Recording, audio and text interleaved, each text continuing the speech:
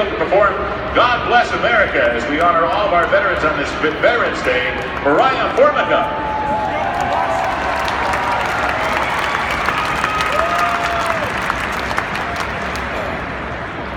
God